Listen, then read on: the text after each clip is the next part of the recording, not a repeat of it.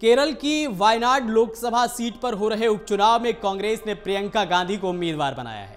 वह बुधवार को नामांकन करेंगी। इस दौरान वायनाड में एक बड़ी रैली होगी, जिसमें प्रियंका गांधी के साथ उनके भाई और वायनाड से पूर्व सांसद राहुल गांधी, कांग्रेस पार्टी के राष्ट्रीय अध्यक्ष मल्लिकार्जुन खड़गे मौजूद रहेंगे।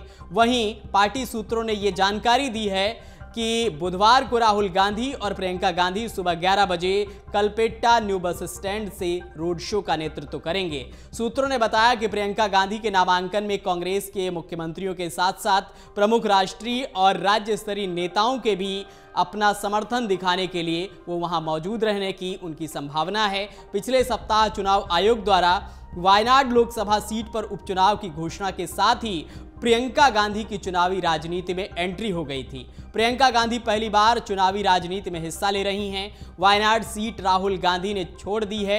वायनाड लोकसभा क्षेत्र में पोस्टर लगाए गए हैं, जिनमें प्रियंका गांधी का स्वागत किया गया है।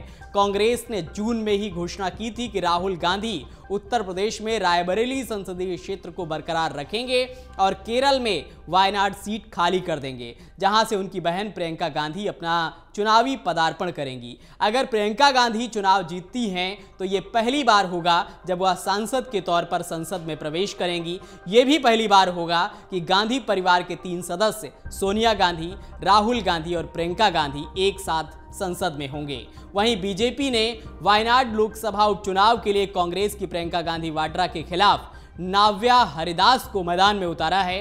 ये सीट राहुल गांधी के इस साल के संसदीय चुनाव में दो सीटों पर जीत के बाद उत्तर प्रदेश की रायबरेली सीट बरकरार रखने के फैसले के बाद खाली हुई थी। राहुल गांधी लोकसभा में विपक्ष के नेता हैं। राहुल के सीट खाली करने के बाद कांग्रेस ने प्रियंका गांधी को उनके चुनावी पदार्पण पर वायनाड से मैदान में उतारने का फैसला किया था। यह फैसला गांधी परिवार द्वारा इस निर्वाचन क्षेत्र को दिए जाने वाले रणनीतिक महत्व को दर्शाता है।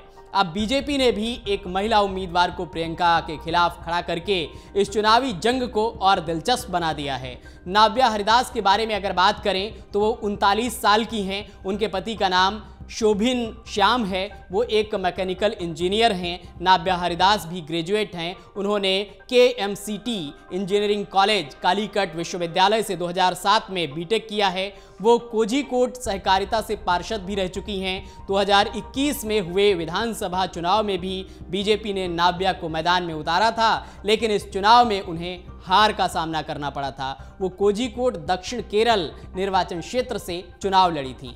2021 में कोझीकोट दक्षिण विधानसभा सीट से चुनाव लड़ने वाली नाब्या तीसरे स्थान पर रही थी। इंडियन नेशनल लीग से अहमद देवर कोविल ने इंडियन यूनियन मुस्लिम लीग के नूर बीना राशिद को बारह वोटों के मार्जिन से हराया था। तीसरे नंबर पर रही नाबिया को चौबीस वोट हासिल हुए थे।